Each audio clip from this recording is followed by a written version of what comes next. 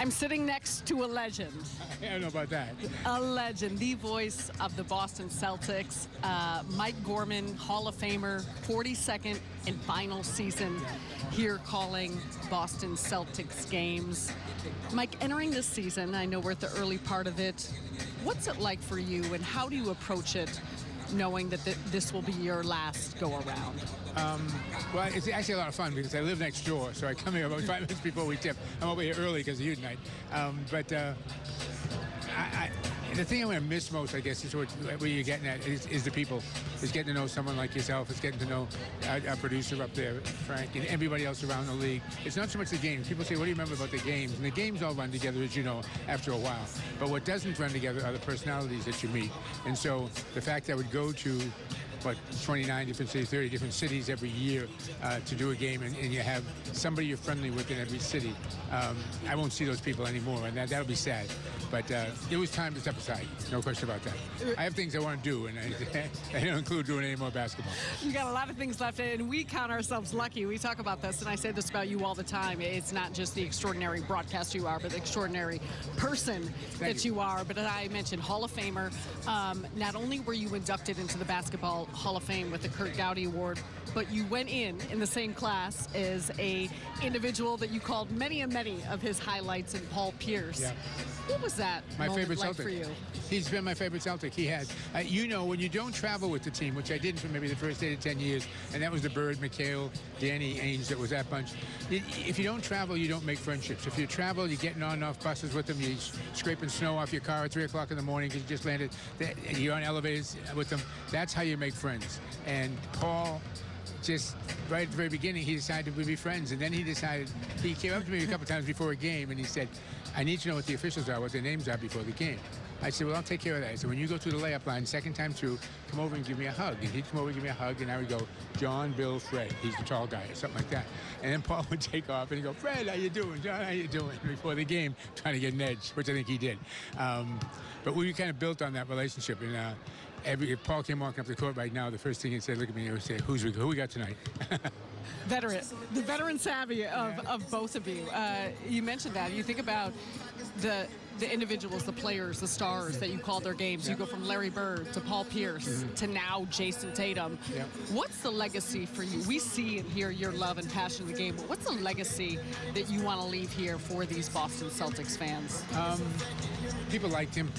That would be nice. Uh, you know, I don't want to get too, too carried away with that, but uh, yeah, people like them. Uh, I like to talk to fans. I don't. Uh, Tommy used to sometimes brush him off, and I would catch him as he blew him off and, and talk to him, give him something to, to put the hang their hat on. But um, yeah, again, I hate to be repetitive, but it all comes back to fans for me. Um, getting to know people. A guy told me early on in the business, and I'm sure this is true for you, that if they love you, you'll make it. If they hate you, you'll make it. If they don't do who you are, you're not going to get anywhere. So get out there and be who you are, and get out there and talk to people. I tell these guys that see coming out of ESPN now, um, they're machines. They, they have, there's got to be more of a personality that gets in it. They can't be just the way they are all the time.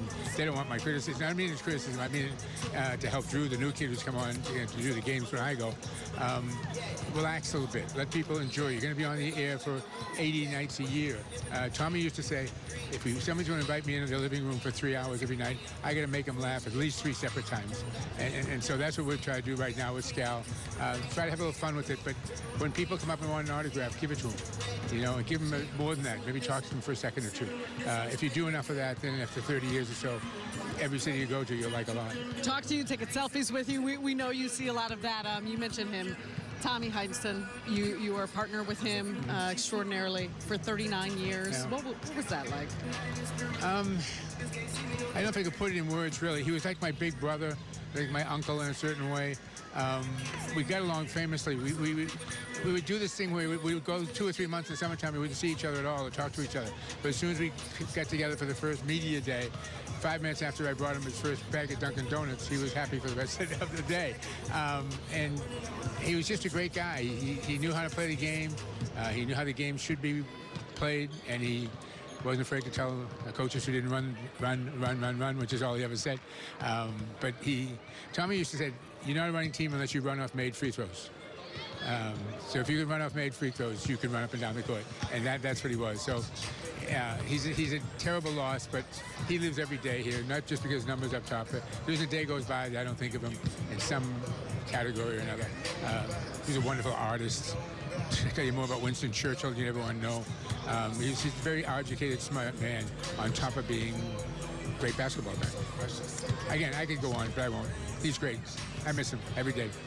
You two together were, are, and, and you continue to be. Last thing for you, Mike. Uh, this Boston Celtics team, high expectations for what they look like this Yeah. season. Uh, what's your take on the ceiling that they could reach this year? I wish, I always wish we had a little more than we have.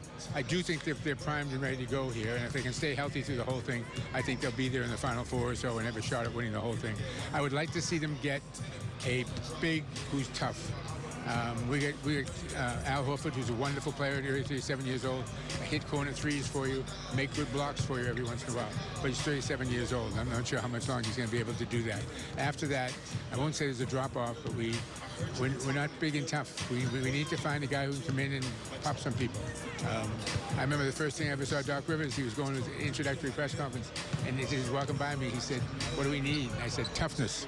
Uh, and that's all we used to talk about for the next 10 years that Doc was here. We always needed more toughness. So you never can have too much. We might, if we get one player who can be that guy, we'll go a long way. Well, Mike, we certainly appreciate all of your insight, all of your entertainment, and all of your kindness that uh, we've had through the years, and many, many more. So have a great broadcast tonight, and as always, thanks for your Thanks, time. I appreciate it.